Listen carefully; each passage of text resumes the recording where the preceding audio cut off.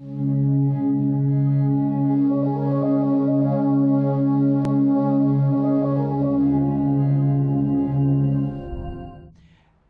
or fiction?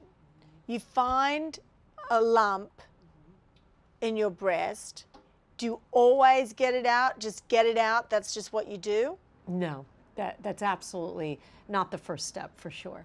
Um, you know, in today's day and age, technology is excellent. Um, the first step is usually to do a series of images, whether it's a mammogram or an ultrasound. Very often, Sonia, especially in our younger patients, a new lump is found to be just a fluid filled sac or a cyst. Um, that's completely normal. And then in some cases, nothing needs to be done, or you can simply stick a needle in, suck out the fluid, what's called aspirate the fluid, and make it go away.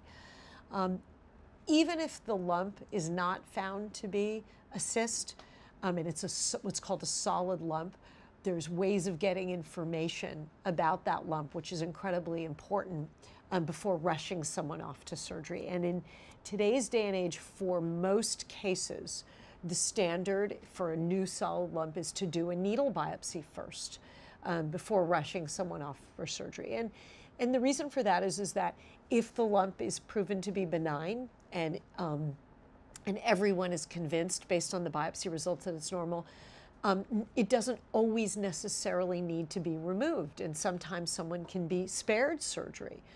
Um, even if the lump turns out to be cancer, actually the needle biopsy is quite helpful because it can provide a lot of information about how to treat that cancer before, before the person goes off to the operating room. And it increases the chances that we'll be able to perform a cancer operation all in one step.